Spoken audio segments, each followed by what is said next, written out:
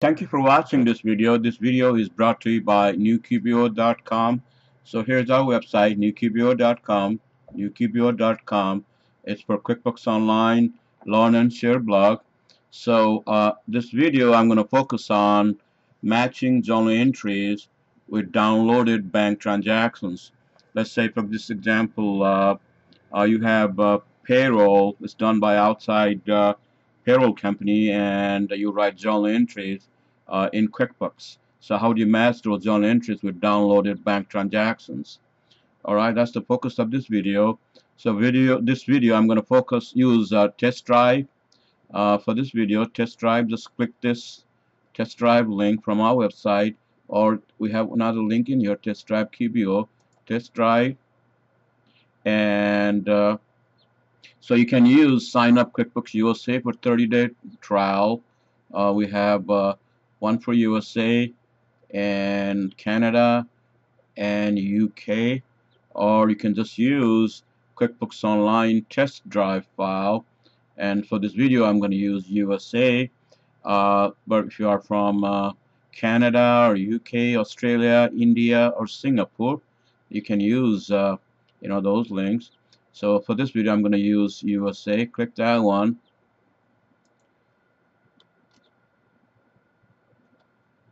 So you just have to enter uh, security verification uh, uh, numbers. This number will change of course every time you log in. Okay so I'm on the QuickBooks Online uh, test drive. It's a demo file. So uh, let's let's say let's see what's in here. It's a demo file. Okay so this is for checking account let's say and not match. Okay let's say this is the one. It's not match. And let's say this is $660 is for payroll and you wrote journal entries and you want to match it. Okay so that's the uh, uh, that's gonna be the focus now. I'm going to show you how to match it. First, I'm going to write a journal entries. All right, let's. I may have to create uh, payroll expenses for this one. I don't think this one has payroll expenses. Okay, let's say I want to create payroll expenses.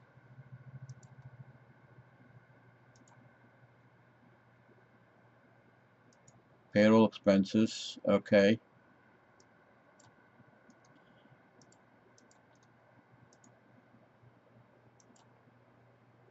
Alright I'm gonna uh, add a couple more uh, payroll rate expenses underneath.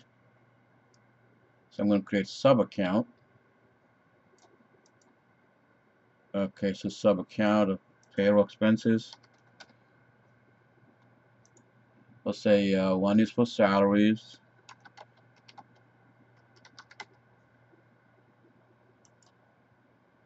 and let's say the one for taxes federal taxes.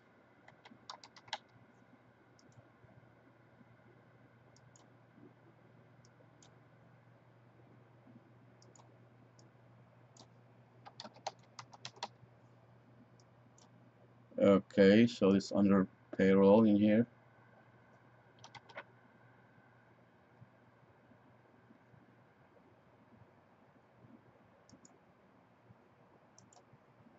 Alright, let's say the other one is like a benefits type, like insurance type.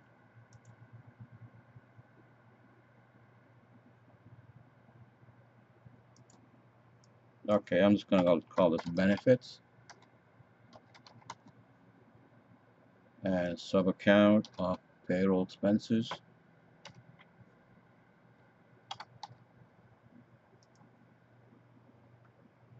Save and close.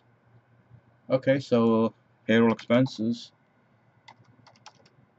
So I have payroll expenses. Underneath you have uh, those three sub accounts.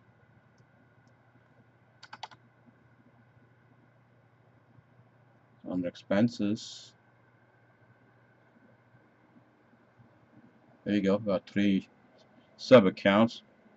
Okay, now I'm going to write a journal entry for $660 first journal entry let's say. Uh, let's say the date is on okay. I gotta go back uh, just double click that one.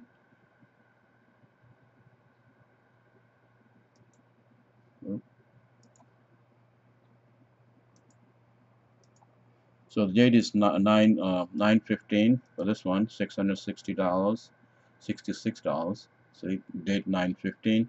So even if it's a couple of days off, it's fine. You can use nine twelve or nine thirteen, whatever. But uh, uh, it should be okay. All right, looks like it's not allowing me to copy this for whatever reason. All right, here we go. I'm gonna write journal entry now.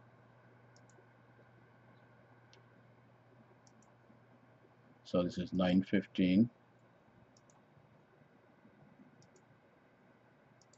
So the account, the checking account. So that's a credit. Let's say uh, $400 for the payroll.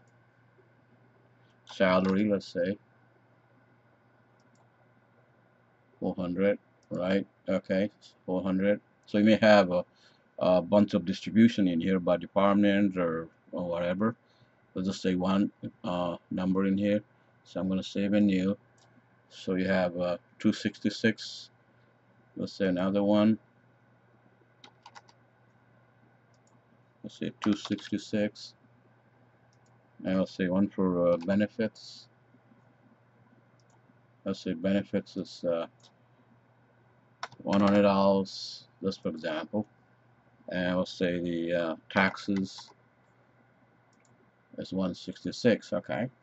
Alright, let's say you have two journal entries and you want to match uh, total and your bank account is so 666 okay so now I go to uh, go to your banking center.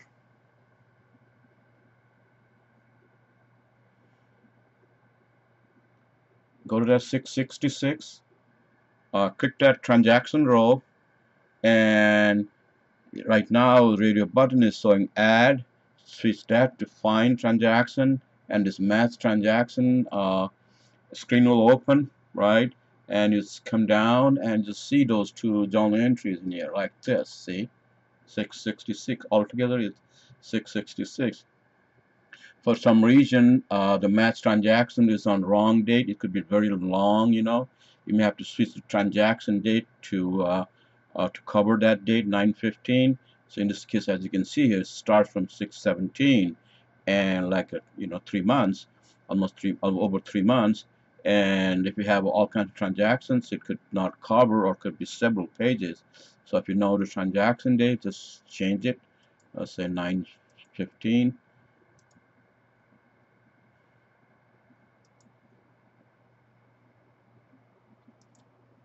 like this. Okay now the uh, list is small and I can just click this 666 make sure difference is zero of course it has to be zero. Difference is zero. And for some reason uh, they also charge a couple of bucks for some fees and stuff. Then you can use the uh, resolve difference add new transaction in here like this and just add in here let's say some sort of fee you know like this just select that account and then just enter the uh, difference in there. Okay so in this case there's no difference 666 and there's no not there, you don't need to add any new transaction uh, no difference just save it okay so as you can see from for it moved from for review to uh, in QuickBooks uh, tab now so if you go to in QuickBooks tab you will see that $666 right here so that's how you uh, match journal entries you wrote uh, from your banking center. See how easy it is? That's all you got to do. Just switch that radio tab to uh, uh, to find match and and uh, uh, then match it. Okay, so that should do it for this video. Well, thank you for watching. Make sure to visit our website newqbo.com. Thank you. Bye.